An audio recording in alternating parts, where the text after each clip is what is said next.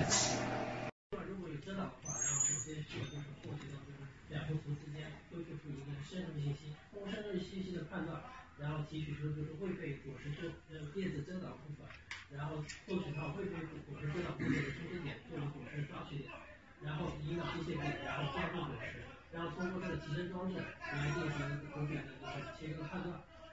最后实现就是果实的一个。